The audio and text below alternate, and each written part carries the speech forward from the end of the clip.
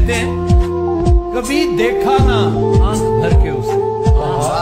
कभी देखा ना